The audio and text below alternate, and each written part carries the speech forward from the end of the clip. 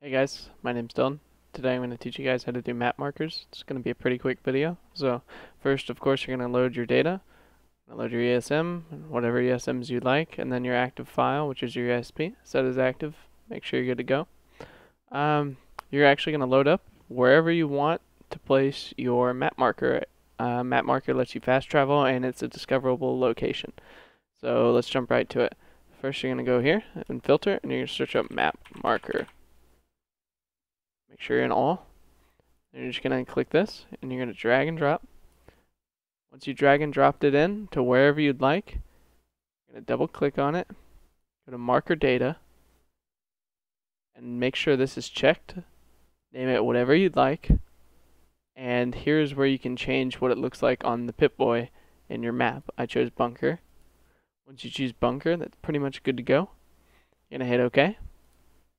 Then what you're going to do is you're going to go up here, go to X marker.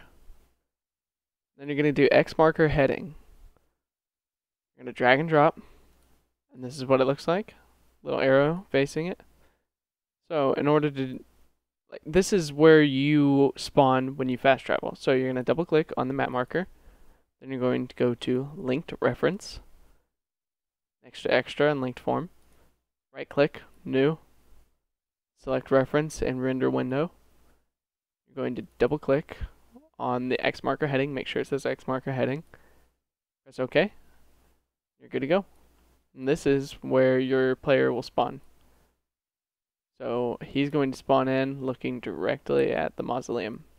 That's exactly what I want. So then you're going to hit save.